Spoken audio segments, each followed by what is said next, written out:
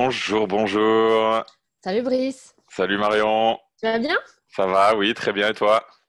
Très bien, ouais. T'as passé une bonne semaine? Euh, Oui, oui, oui, oui.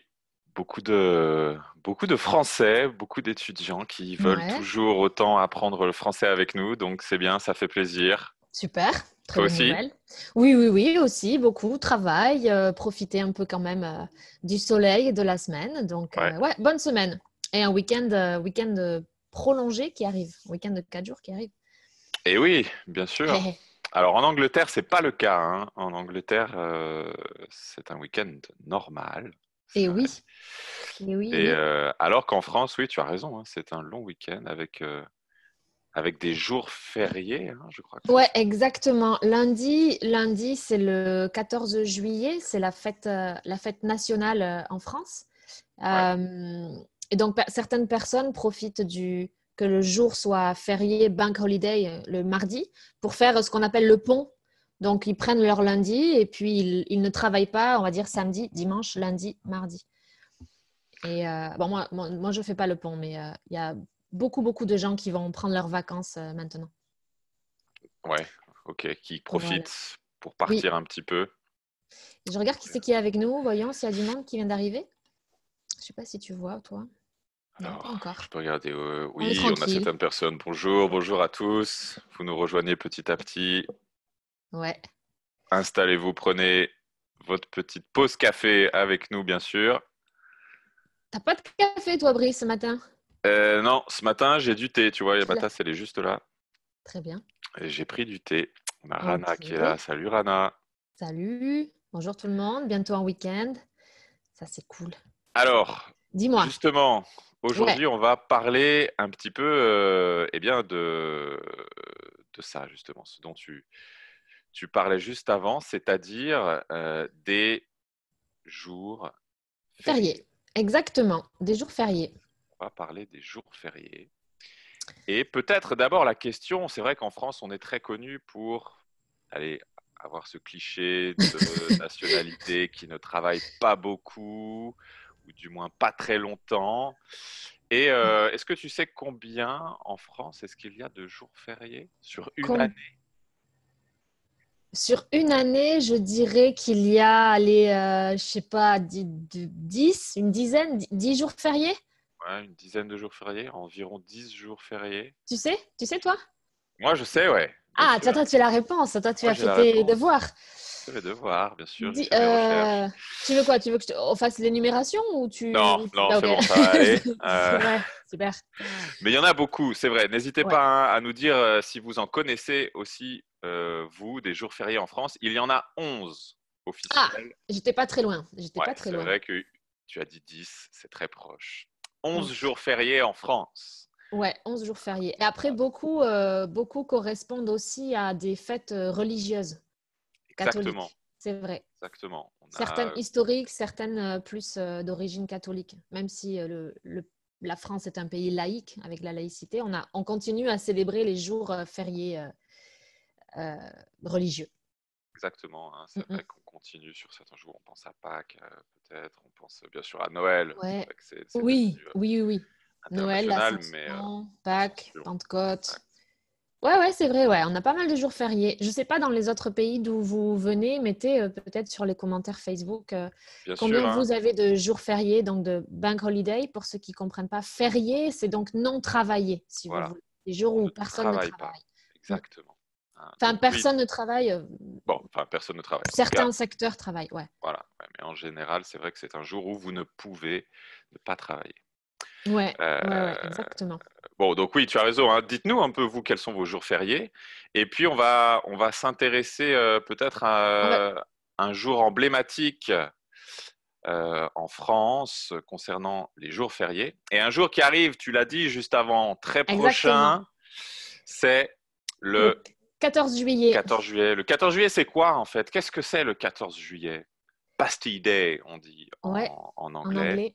Ben, c'est le, le jour, enfin, c'est notre fête nationale, c'est la fête nationale française, euh, et qui, qui fait euh, écho au passé, au jour où, en effet, la Bastille a été prise euh, pendant la Révolution française et que ça a été un peu la fin la fin de la monarchie, la fin du roi en France. Ça a été le début de la République, en fait, le début de la République française. Exact. Si, si, mes cours d'histoire sont encore bons, je pense que c'est ça. tu as raison, non, non, absolument, hein, bien sûr. Le 14 juillet, l'histoire du 14 juillet, c'est vrai, c'est mm. ça, hein, c'est 1789. Oui année emblématique en France. Mm, mm. Euh, la Révolution française, hein, c'est ça, c'est la Révolution française. Euh, c'est le peuple qui euh, se soulève. Et alors la Bastille, qu'est-ce que c'est? Parce qu'aujourd'hui, quand on va à Paris, place de la Bastille, ça a un petit peu changé. Hein. C'est pas totalement la même chose qu'en 1789. À l'origine, hein, là on a une petite, petite image ici sur la Bastille. La Bastille, c'est une prison. Prison, exactement. C'est une prison. Euh, ouais, et du coup, bah, c'était très, c'était un grand symbole d'aller à la Bastille, d'aller à la prison euh, où il y avait bah, tous les prisonniers euh, à Paris et de libérer en fait la prise de la Bastille. C'est la, prison qui s'ouvre et on libère les prisonniers et on dit c'est bon maintenant, stop le roi, stop la monarchie et on va. Ça, hein, absolument. le peuple prend le pouvoir. Hein, Exactement. et renverse. C'est une image hein, ici, la Bastille très forte où le peuple renverse la Bastille, prend la Bastille. C'est la Révolution française, ça a inspiré certains tableaux que vous connaissez. Euh, donc oui, le 14 juillet. Qu'est-ce qu'on fait aussi maintenant? Alors maintenant, on ne fait plus la Révolution le 14 juillet. non, non euh, maintenant, on, ben, on, célèbre ça avec... Euh, ben, les gens vont dans la rue, il y a des défilés, défilés de l'armée. défilés militaires. Défilés militaires, exactement. les Champs-Élysées, absolument. Parfois, vous avez les, les, patrouilles aussi, les patrouilles de France, les, les avions, les avions. Qui, qui font des, des, formes dans le ciel. Donc ça, c'est le côté un peu histoire, militaire, euh, euh, politique, on va dire un peu. Mais après, il y a les gens aussi qui sortent dans la rue, il y a des concerts, il y a des, des, des balles, notamment le bal des pompiers. Le bal des pompiers, c'est vrai c'est la tradition. Les pompiers dans les casernes organisent des balles, c'est vrai. Et puis on a aussi les, les feux d'artifice. Exactement. Ça, c'est peut-être hein, le, plus, euh, le plus marquant aussi pour le 14 juillet, c'est les feux d'artifice. Mmh, mmh. Euh, alors, cette, année, je crois que certains vont être annulés, mais ah euh, à ah, Paris, ça va, il va toujours y avoir le, traditionnel feu d'artifice au-dessus de la Tour Eiffel, mais je crois qu'ils vont, ils vont, comment dire, ils vont mettre des barrières pour empêcher les gens de se rassembler, il me semble. Ah ouais, tu vois, ça, je... c'est vrai que je ne me suis pas posé la question. Je pense que ou alors peut-être que, par exemple, ici chez moi, on, a, on a toutes les villes ne font pas le, même, le feu d'artifice le même jour. Parce que, pour éviter justement que tout le monde se, que ça soit trop bouché, bloqué. Donc peut-être qu'il y a une ville sur trois ou dans un espace qui va organiser le 14 juillet le feu d'artifice. Je ne sais pas encore. Mais c'est vrai que je ne me suis pas posé la question euh, à cause des, du Covid euh, si euh, ça a changé. Ouais, je crois que cette année, ça va être peut-être un peu, un, peu, un peu moins euh, festif. Bon, dites-nous, hein, vous, hein, toujours si vous avez des jours euh, préférés, des jours fériés préférés, si vous connaissez le 14 juillet, si vous avez déjà assisté au feu d'artifice. Ouais. Oui. ouais, ouais, ouais. On a Oma qui est là. Salut Oma, bonjour. Content de te retrouver. Raoul, il y a D'accord. Donc, ouais, ça, c'est ce qui va se passer donc euh, ben, lundi soir, en général, le feu d'artifice, c'est vers 11h30. Euh, enfin, en tout cas, chez nous, enfin, chez moi, vers Bayonne et Biarritz. C'est vers 11h30 euh, le soir, pendant la nuit. Et du coup, euh, celui de Biarritz est, génial. Franchement, il est tiré depuis la plage, si tu veux. Il y a peu de feux d'artifice de chaque côté, des deux côtés de, de la plage, si tu veux. C'est assez impressionnant. Franchement, uh-huh. ça vaut le coup. C'est vraiment très beau. Ouais donc si vous êtes en France, sortez de chez vous avec prudence, mais vous pourrez peut-être assister à un feu d'artifice. Euh, autre jour férié en France euh, qu'on aime et qu'on apprécie aussi, c'est le 1er ah, mai. Oui, c'est vrai. Et oui. Qu'est-ce qui se passe le 1er mai? Donc, c'est la tradition. La tradition, c'est de ne pas travailler. Je crois que toutes nos traditions en général se basent sur ce principe. ne travaillons pas. Ne travaillons pas. Euh, la fête du travail, hein, c'est comme ça qu'on appelle. En plus, c'est ça qui est drôle. Le premier c'est paradoxal. la fête du travail. Ouais, c'est la fête du travail. On célèbre le travail en ne travaillant pas. Logique. Logique. Et on offre en effet le 1er mai, c'est là où il y a cette petite plante euh, qui pousse en tout début mai qu'on appelle le muguet. Exact. L'élire de vallée, hein, d'accord, le muguet. Exactement. Et c'est une plante qui sent, qui sent très, très bon, très fort. Bon, tu aimes ou tu aimes pas. Et qu'on cueille et qu'on offre en général quand on, je sais pas, à, nos, à notre famille, à nos amis. C'était du, ouais, voilà, c'est ça, un geste de, geste d'amour aussi euh, pour marquer un petit peu l'attention. Et puis euh, c'est les enfants aussi, la tradition, les enfants qui vendent le muguet aussi euh, dans la rue, aux voisins, pour avoir un petit peu d'argent. C'est vrai, tu l'as fait toi quand tu ouais, étais... ouais, ouais, ouais, T'as vendu ouais, du muguet ah, C'est marrant ça. Moi, j'ai jamais fait ça. je, je, je m'installais. Tu avais une petite table et tu te mettais en de route. table, je faisais tu sais, ma petite feuille avec euh, muguet, 2 euh, euros. Euh, euh ouais, ah, ouais. Et tu as, réussi à vendre? Ouais, j'avais un peu de sous, oui. C'était pas une, richesse exceptionnelle, mais, oui, oui, oui, ça, ça marchait un petit peu. Ouais. Les gens achetaient du muguet, donc c'est aussi un peu la tradition de, de vendre du muguet. non, toi, tu, veux... non, tu ne faisais pas ça. Mais non, parce que. le muguet, toi, tu allais. Non, euh, je, me souviens quand j'étais plus jeune, dans ma maison, on avait un, jardin et il y avait un petit espace sous les. Parce qu'il faut des conditions particulières pour faire pousser du muguet. Sache-le, c'est compliqué. Pas partout. Et j'avais, on avait un, peu, un tout petit espace sous la haie avec euh, du muguet qui poussait chaque, euh, chaque mois de mai. Donc en fait, on l'avait directement dans le jardin, donc on le prenait et puis on le mettait dans la maison. Et je, non, je ne l'ai jamais vendu. Mais j'ai souvenir de mes voisins ou de mes camarades, en effet, de classe qui étaient euh, le long des villages, là, en bord de route. Euh, ils avaient leur petite table, leur petite chaise et euh, ils vendaient leur muguet. C'est vrai, j'avais oublié ça, c'est vrai. Ouais. Bon, Qu'est-ce qu'on fait vous, vous, pouvez nous dire hein, si vous faites quelque chose, vous, le 1er mai. On a Khadija qui est là, qui a assisté au 14 juillet à Nantes. Super, génial ça. Ah. Euh, Nantes, alors je ne connais pas trop la, ville de Nantes personnellement. Je sais pas. Ah, moi j'ai fait euh, mes études à Nantes, enfin une partie de mes études à Nantes et, euh, et c'est vraiment une très très belle ville. Ville étudiante hein, apparemment. Hein, ville étudiante, ouais, pas mal d'étudiants, beaucoup d'activités culturelles aussi, c'est génial, c'est vraiment super. 14 juillet à Nantes, d'accord. Et euh, beaucoup de, c'est vrai, beaucoup de touristes, enfin beaucoup de touristes, beaucoup d'élèves que j'ai que j'ai pu rencontrer ici, qui étaient en train de faire du tourisme euh, en France, m'ont dit que ils adoraient ça, les feux d'artifice, quoi, surtout le 14 juillet, euh, feu d'artifice du 14 juillet, c'était magique. Elle nous rajoute. Bah, très bien. Ok, bien, on passe à notre quiz maintenant. Trois questions. Si vous avez écouté notre conversation, ouais va vérifier un petit peu les informations, votre compréhension avec trois petites questions. Combien y a-t-il de jours fériés en France?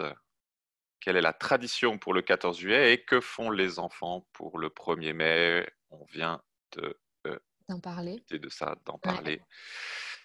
Commentez dans le Facebook, hein, d'accord, les commentaires, euh, mettez vos réponses. Combien de jours fériés? Le 14 juillet, le 1er mai, qu'est-ce qu'on fait? Quelle est la tradition? Pardon Marion, je t'ai coupé. Non, non, du tout. J'allais dire pour ceux qui vont répondre à la question numéro 1, euh, euh, écoutez la réponse de Brice et non pas la mienne, puisque moi je me suis trompée.